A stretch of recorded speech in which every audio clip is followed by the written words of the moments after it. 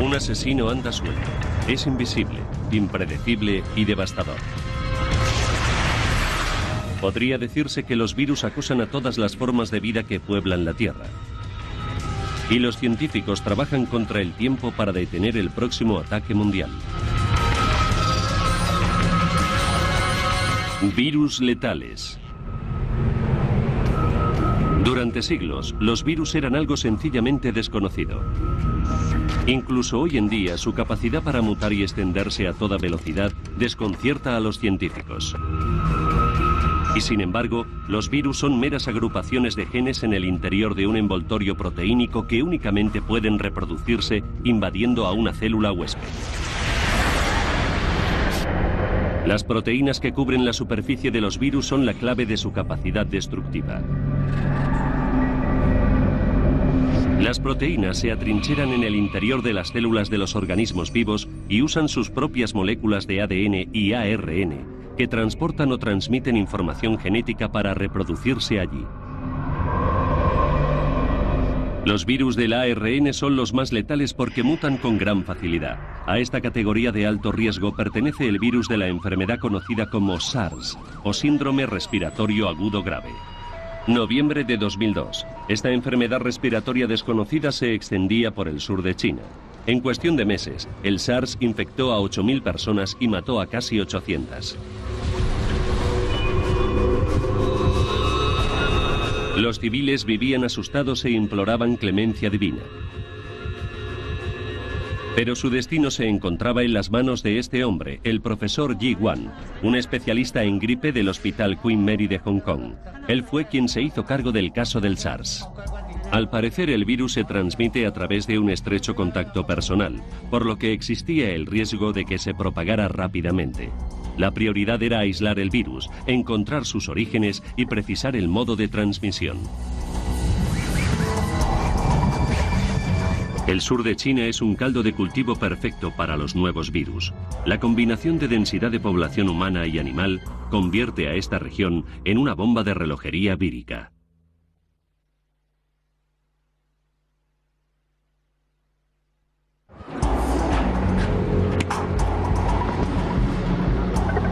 En las investigaciones efectuadas en granjas de animales salvajes se descubrieron civetas portadoras de un virus similar al del SARS.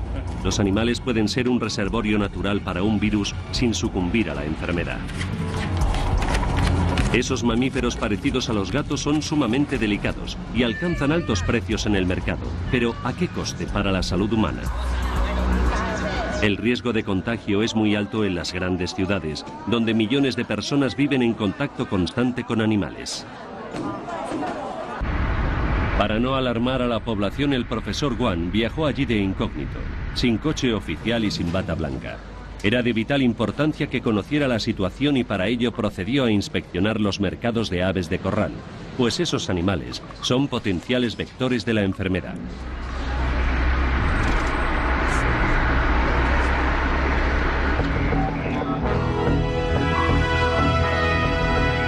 Las alertas de gripe asiática de 1997 y 2001 estaban aún muy recientes en las mentes de los chinos que seguían luchando contra el SARS o síndrome respiratorio agudo grave. El virus y su reveladora corona de proteínas pertenecen a la familia de los coronavirus.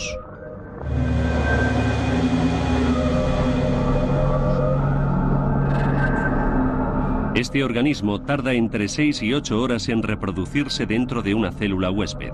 Posee una de las mayores estructuras genéticas de todos los virus de ARN, por lo que su mejor arma es su capacidad para mutar.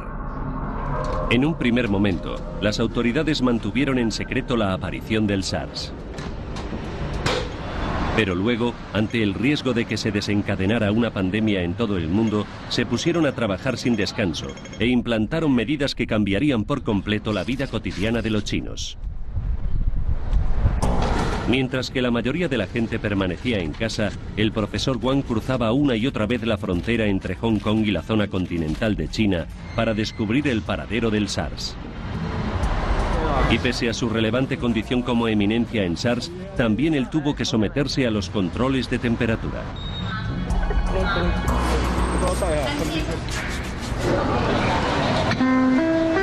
Las regulaciones en materia de higiene eran draconianas.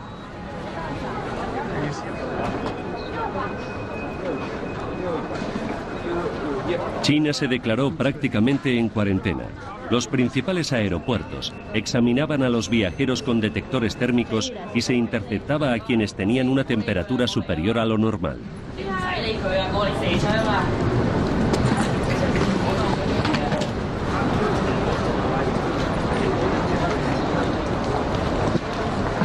Los presuntos casos de fiebre eran motivo de preocupación oficial, pero las drásticas medidas dieron sus frutos.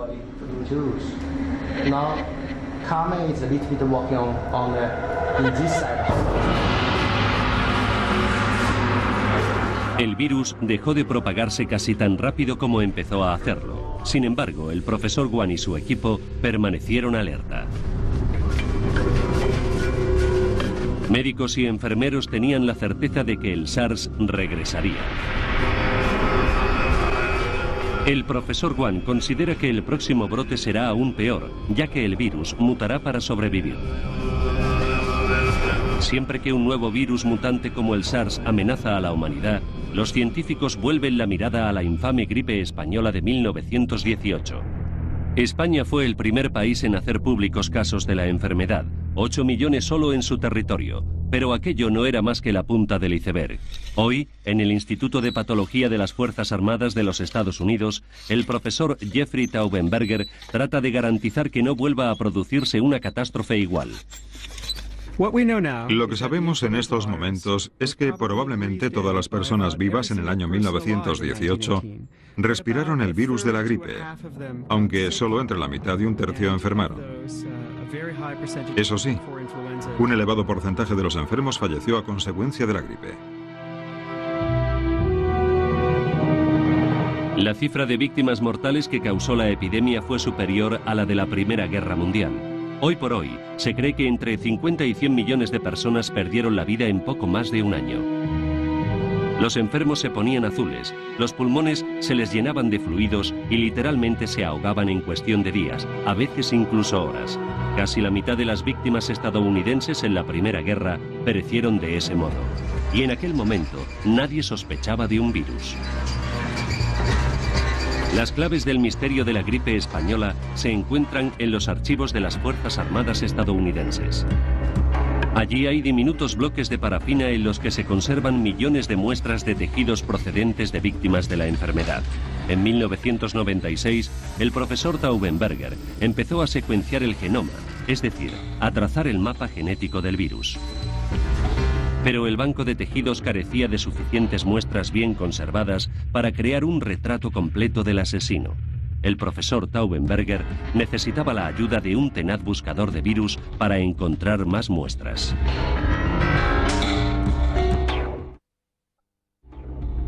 El doctor Johann Hultin, un patólogo forense ya retirado, se unió a la investigación del profesor Taubenberger sobre la gripe de 1918. Un día un visitante mencionó que alguien debía ir a Alaska a buscar en sus helados territorios víctimas de la pandemia de gripe de 1918. Cuando lo oí, supe que esa misión era perfecta para mí. Aquella fue la segunda expedición del Dr. Hultin a Alaska. La primera tuvo lugar en 1951. El momento en que vi a la víctima número 11 fue increíble para mí. Su descubrimiento me hizo muy feliz. Sabía que allí hallaríamos material genético del virus de la gripe de 1918. Esto es una foto de mujer que encontré enterrada a unos dos metros de profundidad en un paraje helado de Alaska. Murió durante la pandemia de gripe en noviembre de 1918 y se momificó de forma excepcional. En vida había sido obesa, por lo que sus órganos internos se preservaron muy bien. De ahí que encontrara muestras pulmonares tan útiles para usted. Johan puede que no reconozca esto, pero son las muestras de tejidos que nos envió desde Alaska, las que encontró congeladas. Nosotros las procesamos para poder observarlas al microscopio. ¿Pero es peligroso desenterrar un virus letal? Estudiar el virus de 1918 no supone riesgo alguno para nuestra seguridad. Estamos extrayendo diminutos fragmentos del virus de la gripe de tejidos pertenecientes a personas que murieron a causa de esta enfermedad hace 80 años. Y en esos tejidos no queda ningún virus vivo. El profesor Taubenberger y sus colegas emplearon una nueva técnica de duplicación para reproducir de forma artificial el ARN del virus de 1918. Una década después, por fin ha logrado completar la secuencia.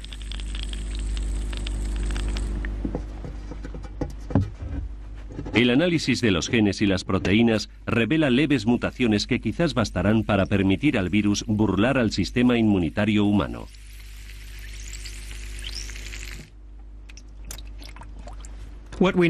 Pensamos que el virus de 1918 surgió de una forma muy inusual de gripe aviar, que en nuestra opinión fue adaptándose a los humanos poco a poco, a lo largo de un par de años.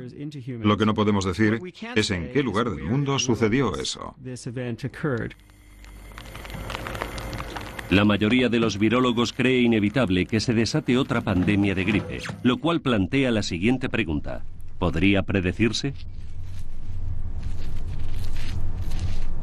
La región de la Camargue, en el sur de Francia, es un laboratorio natural para el estudio de los virus. En este lugar las aves migratorias, sobre todo las acuáticas, ponen a disposición de los científicos un enorme reservorio móvil de gripe. Los virus se reproducen en el intestino de los pájaros y son excretados en sus deposiciones. Hoy los científicos de la Escuela de Veterinaria de Lyon van a trabajar sobre el terreno. El doctor Philippe Sabatier se encuentra al frente de la expedición y a una hora muy temprana de la mañana tiene una cita con las aves migratorias procedentes de África. Sin embargo, las primeras en llegar no son las que él esperaba.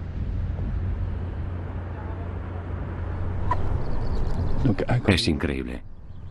Está un poco cansado. Todos los años varios miles de millones de aves regresan a Europa para pasar el verano, y lo hacen a través de la Camargue, el delta de un río que se extiende a lo largo de casi mil kilómetros cuadrados. Antes pensábamos que los animales tenían virus particulares, al igual que los hombres. En definitiva, que cada especie tenía sus propios virus. Pero la historia reciente de la virología nos ha llevado a comprender que ciertos virus pueden pasar de una especie a otra indistintamente. El doctor Sabatier investiga los virus que saltan de una especie animal como es un pájaro a otras como el ganado y los caballos.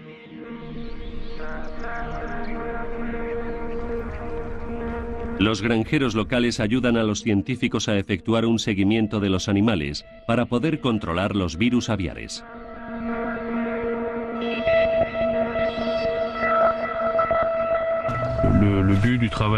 El objetivo de nuestro trabajo es comprender mejor los distintos riesgos euh, para poder reaccionar con mayor rapidez y de ese modo evitar la propagación. Por suerte, la barrera de las especies no es tan fácil de traspasar. Un virus se vuelve contagioso cuando se adapta a la acidez y al entorno genético y proteínico de su huésped. Y para colonizar a otro huésped, muta.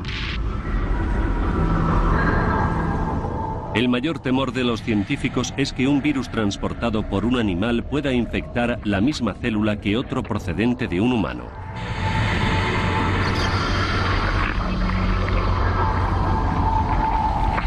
El material genético combinado produciría miles de híbridos virales.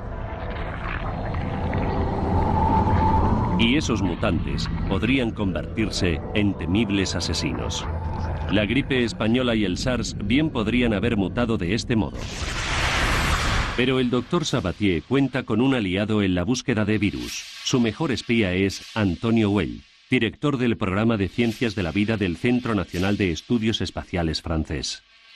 Los satélites de observación de la Tierra nos permiten estudiar el entorno, la vegetación, el suelo y el agua, todos ellos factores cruciales para el desarrollo de los virus. Su misión consiste en evitar que se materialicen los peores escenarios posibles, dignos de las mejores obras de ciencia ficción, como La amenaza de Andrómeda, de 1971. Está creciendo. ¿Qué demonios haces? Apago el oxígeno para exponerlo al aire de la habitación. No, Andrómeda está en el aire. Experimentad con vuestras vidas, maldita sea. Andrómeda se extenderá por todas partes y nunca podrán deshacerse de él. Cinco minutos para autodestrucción.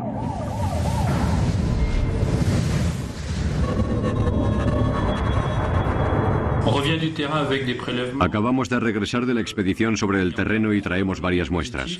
Probablemente encontremos algún positivo que procederemos a enviar al Instituto Pasteur para que aíslen los virus.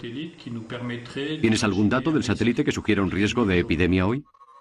Antonio Weil y Philippe Sabatier forman parte de un programa de seguimiento mundial llamado BIRD. Su objetivo es reducir el riesgo de propagación de los virus a través de los desplazamientos de las aves migratorias. Colocando microtransmisores vía satélite en los pájaros, los científicos pueden seguirles allá a donde vayan. Hemos recibido las últimas emisiones de las garzas. Algunas ya han llegado cerca de Mauritania. A continuación se anotan las escalas de los pájaros y sus destinos finales, y se procede a dividir la Camargue en hábitats.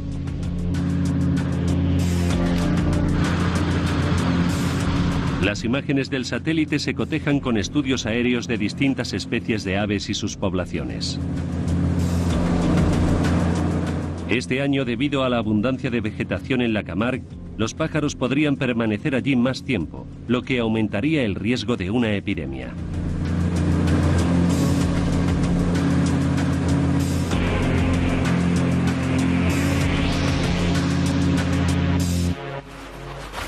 Controlar los movimientos de los gansos será complicado. No se muestran muy dispuestos a colaborar. El doctor Sabatier quiere saber más sobre las pautas de su migración. El problema es colocar el transmisor.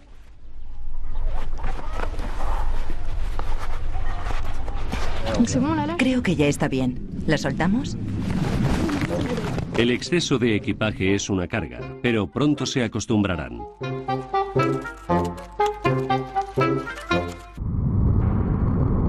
No todos los virus necesitan a los pájaros para desplazarse. El hombre es el vector de la viruela.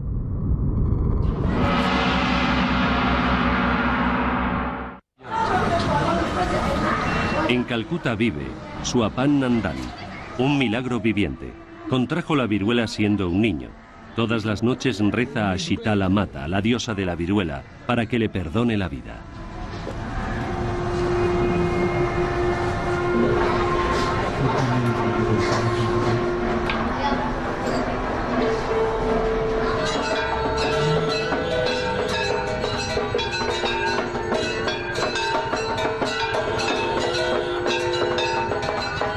Tiempo en que las grandes pandemias se aceptaban como un castigo divino que había que sufrir con resignación.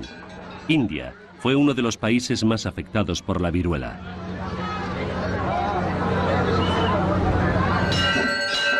Antes de que existieran las vacunaciones multitudinarias, la única esperanza era la oración.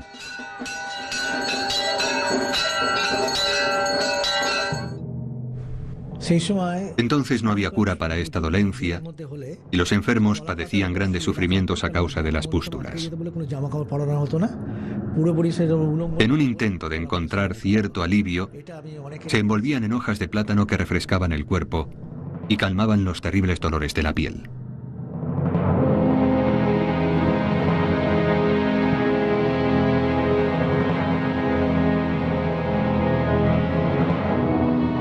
Quienes sobrevivieron quedaron marcados, a menudo de por vida.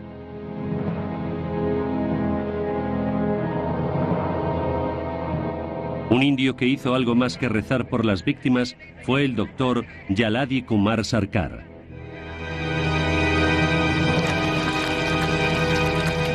El doctor Sarkar es la personificación de la ciencia. Este hombre creó el primer laboratorio de virología e impulsó el programa de vacunación nacional. Recuerda que los lugareños se aferraron a la religión y al principio rechazaron la vacuna.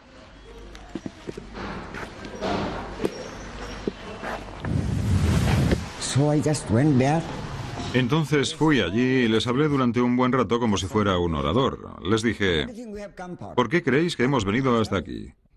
No por mí, sino por vosotros. Queremos protegeros. Y cosas así. Después de la conferencia accedieron. En los años 60 la Organización Mundial de la Salud lanzó una campaña mundial para la erradicación de esta enfermedad. En 1975, India se convirtió en uno de los últimos países en acabar con la viruela. La historia de esta enfermedad es larga y dolorosa. Los chinos trataron de vacunarse contra ella ya en el siglo VIII.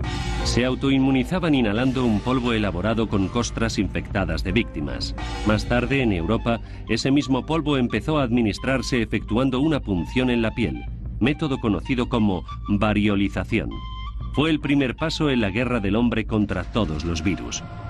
Durante su último siglo en la Tierra, la viruela mató a más de 500 millones de personas. Otras varias decenas de millones murieron a causa de la rabia, la fiebre amarilla, la gripe y por supuesto del VIH, el virus del SIDA. Esta es una guerra defensiva en la que el sistema inmunitario humano necesita un arsenal de armas siempre cambiante. Cada mutación que experimenta un virus supone una amenaza distinta para nuestro sistema inmune.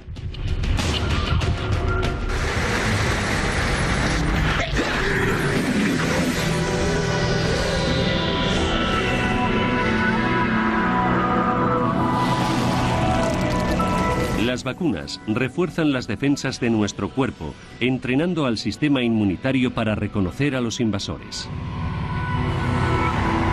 Las células T ayudan a los glóbulos blancos en su misión informándoles de la identidad de todo intruso, al que sea necesario acorralar y atacar. Nuestros glóbulos blancos producen anticuerpos que se adhieren a las proteínas de la superficie de los virus.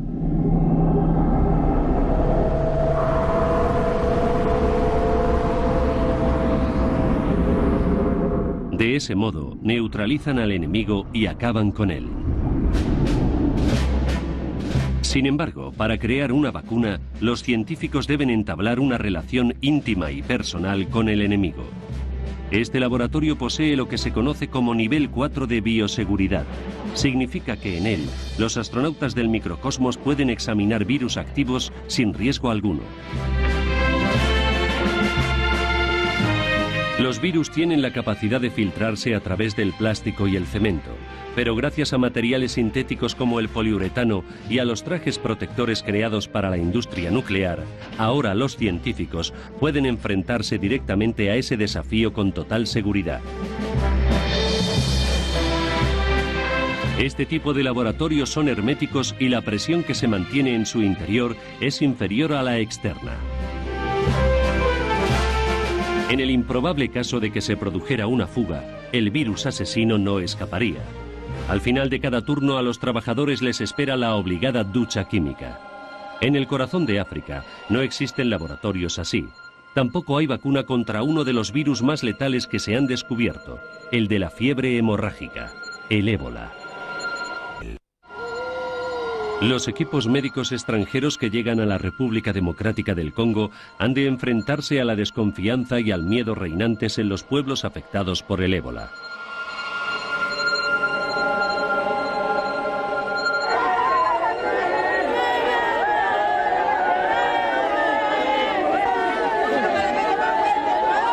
El doctor Eric Leroy, un virólogo del Instituto de Investigación para el Desarrollo del Gobierno francés, o IRD, acude al lugar lo antes posible.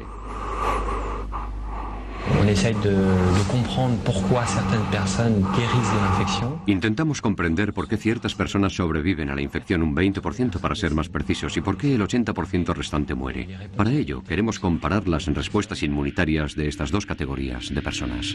La estructura del ébola es filamentosa y a ella le debe su nombre la familia a la que el virus pertenece, la de los Filoviridae. Es uno de los más de una docena de agentes calientes que existen, que no son otra cosa que virus que se expanden y matan rápidamente. El ébola ataca al sistema inmunitario y destruye las células que bordean los vasos sanguíneos, causando hemorragias. El ébola está en nuestro pueblo. Cuando veáis llegar a las enfermeras, no las amenacéis. Están aquí para salvar a la gente del ébola. Y es importante que aquellos que hayan huido a las selvas regresen al pueblo. En las selvas viven muchos animales y algunos transportan impunemente la enfermedad. Esas criaturas pueden transmitir el virus a otras especies como puercoespines, antílopes y monos, animales que los lugareños suelen comer. El mero hecho de tocar la carne infectada representa un riesgo de contagio.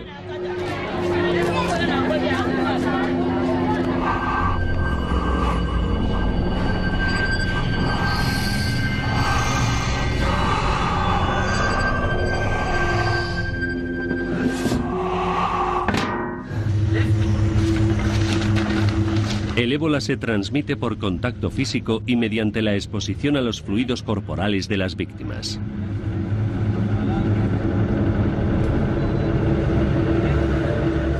Por lo general, la muerte sobreviene una semana o dos después.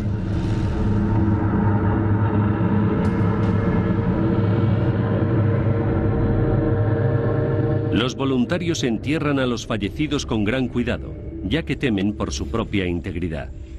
Los pueblos se ponen en cuarentena para interrumpir la cadena de contagios. ¿Sabías que la zona estaba en cuarentena antes de marcharte a... Sí, lo sabía. ¿Y por qué no viniste a vernos? Queremos salvar las vidas de todos y si estás enfermo y te vas a una ciudad tan grande como Brazzaville, será el fin, porque Brazzaville también caerá. Los equipos locales de enfermeros se toman muy en serio su formación. No en vano suelen ser las primeras víctimas.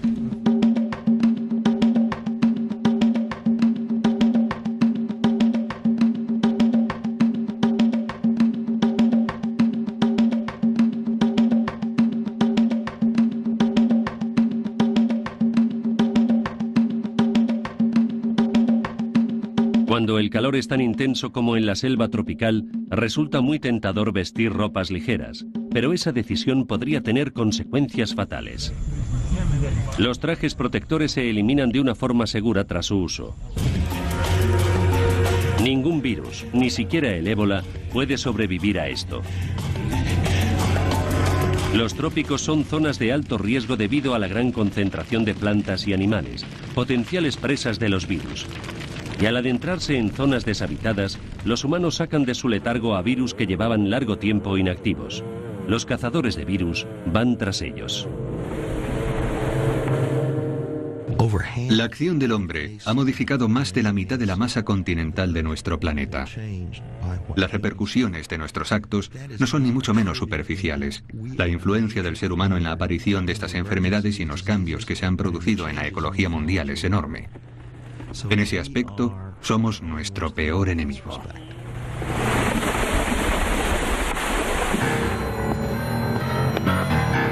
El profesor Peters, de la Delegación Médica de la Universidad de Texas, es el padre de todos los cazadores de virus y fue el descubridor de un enemigo desconocido hasta entonces. El virus Nipah se descubrió en Malasia en 1999.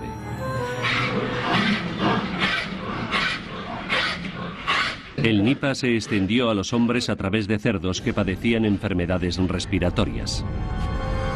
Los primeros en contraerlo fueron los ganaderos que criaban este tipo de animales.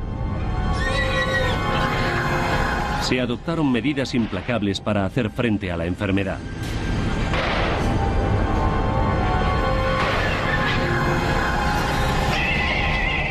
Un millón de cerdos fueron sacrificados. Pero para empezar, ¿cómo contrajeron ellos el Nipah? Los investigadores creen que el reservorio del virus era el murciélago y que él se lo transmitió a los cerdos.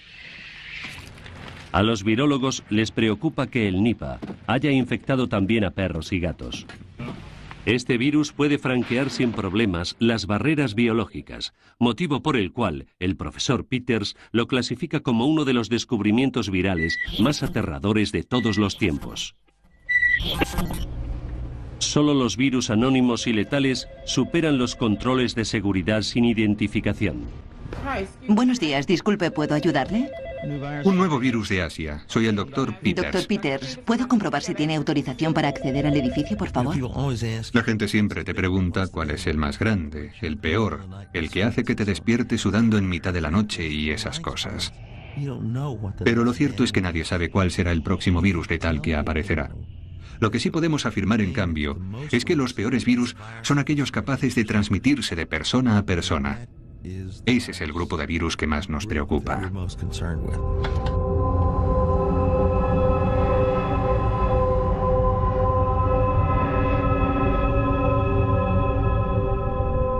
No hay demasiados datos sobre este. Dado que no existe una buena red de control, cuando todo sucede en otros continentes, carecemos de un buen sistema para estudiar los detalles de lo ocurrido. Y en mi opinión, eso nos pone en peligro. Cada dos o tres años, un nuevo virus ataca al ser humano. Nadie sabe de dónde procede, cómo se transmite o las dimensiones que podría tener una epidemia.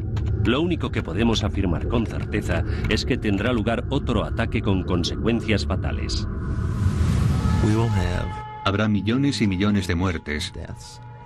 Y todo eso tendrá una notable repercusión no solo en lo que a los muertos y enfermos se refiere, sino también en el ámbito de la práctica clínica, cuya naturaleza cambiará. Toda esta situación tendrá graves consecuencias para la economía. La gente no querrá subir a los aviones porque son cámaras cerradas en las que pueden circular los virus y no habrá mano de obra para recoger las cosechas. En la Tierra viven más de 4.000 especies de virus y sin embargo el porcentaje de estos organismos que ataca al hombre es muy pequeño.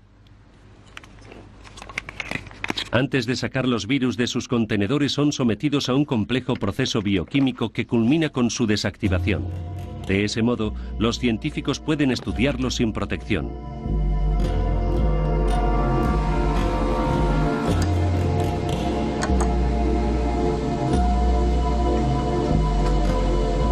Incluso los cazadores de virus más experimentados temen el momento de la verdad.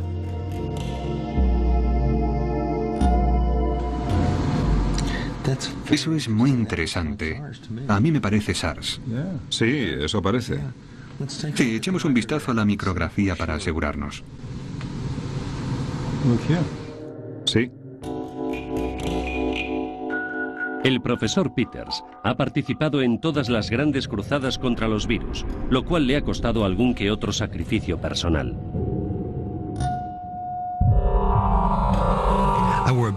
Llevé barba durante 20 años, pero en junio de 2003 decidí ir a Taiwán para trabajar en el brote de SARS. Y comprendí que tendría que ponerme una máscara que se ajustara muy bien a la cara para mantener a raya las partículas y protegerme. De modo que, adiós a la barba.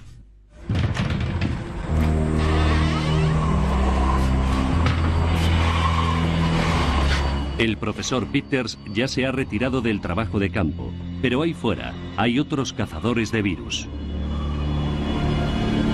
El biólogo brasileño Luis Eloy Pereira y su equipo del Instituto Adolfo Lutz de Sao Paulo estudian a la víctima de una enfermedad desconocida. El suyo es un verdadero trabajo detectivesco que les obliga a buscar pistas del paradero del asesino fuera del laboratorio. El equipo inspecciona las cuevas, los campos, los bosques y los pantanos de Brasil en busca del virus. Renato, Renato, este animal es un vampiro porque es hematófago, pero además es un reservorio de arbovirus ya que vive en la selva. Los arbovirus se transmiten mediante insectos que se alimentan de sangre. El clima tropical de Brasil y la variada fauna y flora del país constituyen un entorno perfecto para el desarrollo de estos virus. Los arbovirus causan todo tipo de dolencias, desde fiebre moderada en los humanos hasta encefalitis o inflamación del cerebro, enfermedad potencialmente letal. Y los murciélagos y los roedores figuran nuevamente entre los sospechosos habituales.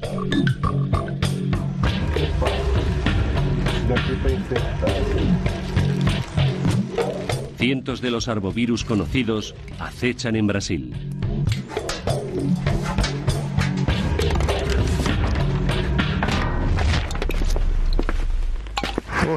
Renato, estos son los roedores que capturamos y en los que detectamos arbovirus, ¿te acuerdas?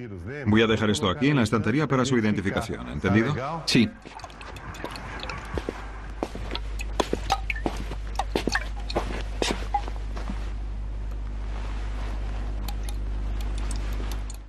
El profesor Pereira no solo estudia la identidad de los virus, sino también el modo en que traspasan las fronteras de Brasil. Los pájaros, al igual que los roedores, les sirven como medio de transporte.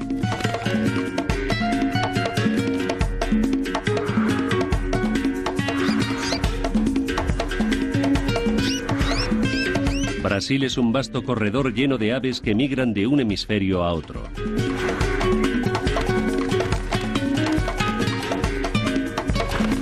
Y un mosquito portador de un virus podría picar a cualquiera de esos pájaros, haciendo que el ave infectada transportara el letal organismo a miles de kilómetros de distancia, a otros países.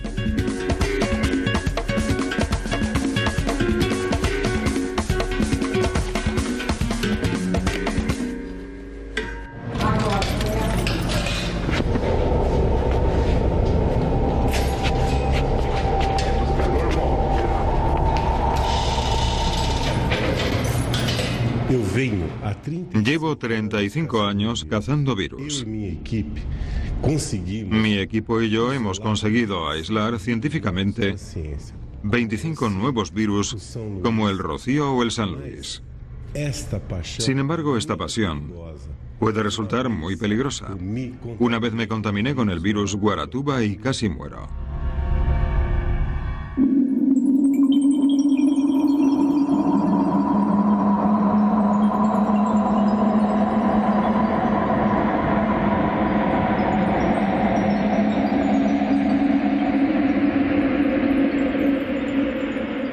Todos los años, el Instituto Adolfo Lutz realiza pruebas con 30 muestras virales procedentes tanto de animales como de humanos. Hasta que se inventó el microscopio electrónico en los años 30, los investigadores tuvieron que trabajar a ciegas, pues los virus, a diferencia de las bacterias que pueden verse a través del microscopio de luz óptica, son tan pequeños que es necesario ampliarlos decenas de miles de veces. E incluso así, de las proteínas de su superficie no se aprecia más que un vago perfil.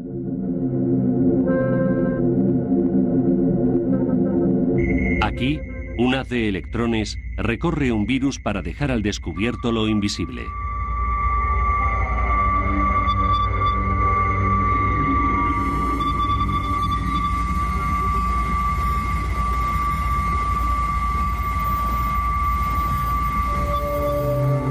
El grosor de un cabello humano es de una centésima de milímetro, el de una espora de moho de varias milésimas de milímetro y el de una bacteria de una sola milésima de milímetro.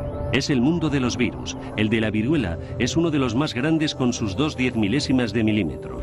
Luego están los coronavirus y los rinovirus, más pequeños, con tan solo dos cien milésimas de milímetro. Estas cifras que nos nublan la mente son vitales para virólogos como el doctor John Ives Sgro. Para un observador experimentado esos números desvelan los primeros secretos de una galaxia desconocida. En el Instituto de Virología Molecular de Wisconsin, la principal arma del Dr. Sgro contra los virus es la tecnología informática. Gracias a ella, puede medir un virus en tres dimensiones. Su objetivo es crear réplicas exactas de los virus originales.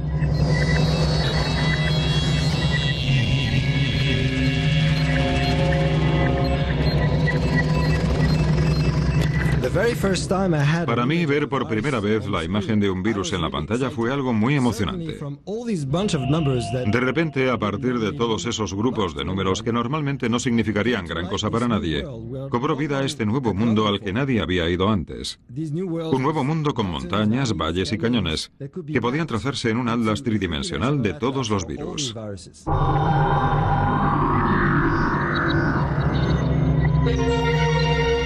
Sabiendo qué aspecto tenía el enemigo, podíamos empezar a comprender su línea de ataque.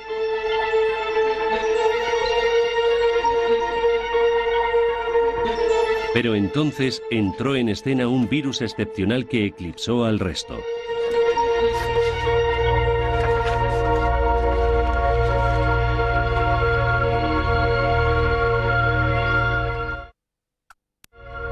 El minivirus es cuatro veces más grande que el virus de la viruela y puede observarse a través de un microscopio óptico. Este organismo fue hallado en un sistema de refrigeración de Bradford, Inglaterra, en 1992. Durante mucho tiempo se pensó que era una bacteria por su tamaño y su compleja composición genética. El doctor Didier Raoul, microbiólogo francés de la Universidad Mediterránea de Marsella, recuerda su primer encuentro con el Mimi. La primera vez que lo vimos, quedamos impresionados porque no esperábamos que tuviera esa forma. A diferencia de las bacterias, era muy geométrico y nos llevó cierto tiempo comprender que sufríamos una suerte de bloqueo mental que nos impedía pensar que un virus pudiera ser tan grande. Era imposible. Al colocar el mimivirus junto a ciertas bacterias, sobre todo si son de las más pequeñas, queda patente que el diámetro del virus no solo es similar, sino en ocasiones incluso más grande que el de las bacterias. Es comprensible, por tanto, que durante años lo confundiéramos con una bacteria. Cuando el equipo del doctor Raúl secuenció el genoma de Mimi, descubrió que un 80% de sus genes no existía en ningún otro lugar un rasgo típico de los virus. El mimivirus nos demostró lo poco que sabemos sobre los virus. En este mundo hay más virus que cualquier otra forma de vida. En el fondo del mar, en el lodo y en el agua, se han descubierto virus sumamente curiosos.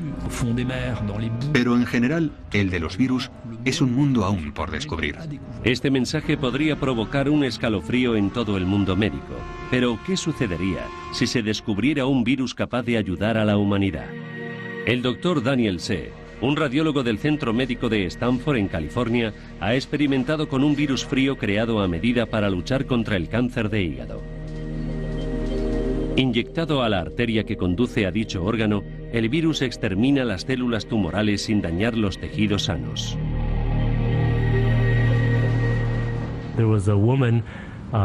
Principios del siglo XX, una mujer que padecía un cáncer cervical contrajo la gripe. Estuvo gravemente enferma, pero tras recuperarse su cáncer mejoró.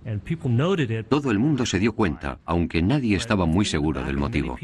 Sin embargo, desde entonces y durante décadas muchas personas han pensado que quizás pudiéramos utilizar los virus como arma contra el cáncer.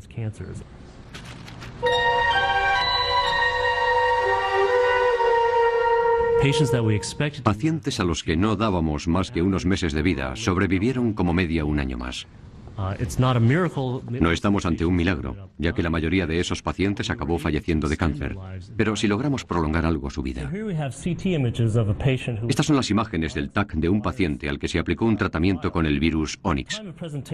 Cuando se tomaron estas placas, sufría un cáncer que ya se había extendido al hígado. Todas esas zonas negras que se aprecian en el órgano son tumores. Siete meses después de iniciar el tratamiento con el virus Onyx, realizamos un TAC de seguimiento y las imágenes revelaron que la mayoría de los tumores había desaparecido por completo. Siete millones de personas mueren de cáncer todos los años. Quizás algún día un virus común pueda curarlas.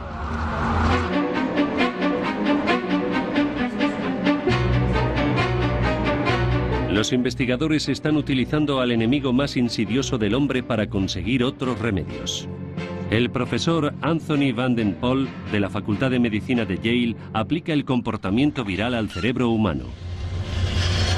Este hombre emplea los virus para acabar con tumores cerebrales y conducir hasta una célula defectuosa del cerebro el gen que necesita. Nuestro cerebro contiene 100.000 millones de células.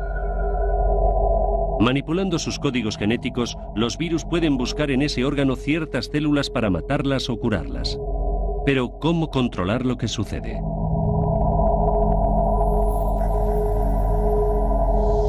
El profesor Van Den Pol marca los virus con los genes fluorescentes de las medusas y luego los sigue en su carrera de obstáculos a través del cerebro hasta la célula objetivo.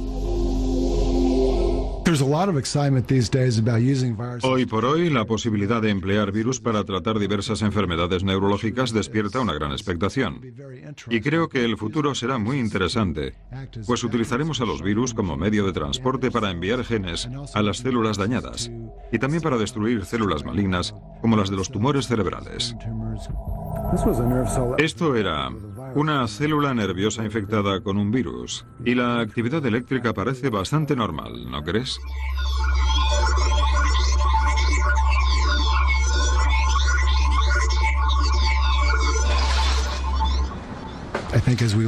En mi opinión, cuanto más sepamos sobre los virus, sus códigos genéticos y su comportamiento en el interior de las células, más cerca estaremos de poder utilizarlos en nuestro beneficio.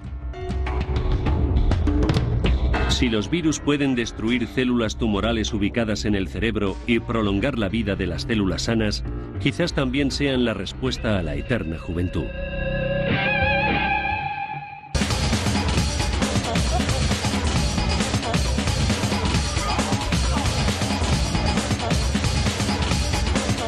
Sin embargo, este nuevo rayo de esperanza queda oscurecido por la amenaza de otra pandemia. ¿Son capaces los científicos de vencer a las miles de nuevas cepas víricas que podrían brotar en cualquier momento?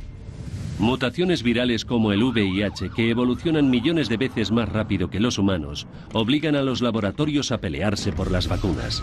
Nosotros observamos y experimentamos para evitar el próximo ataque a escala mundial pero también confiamos en que nuestro mayor enemigo pueda un día convertirse en nuestro aliado en la lucha contra la enfermedad.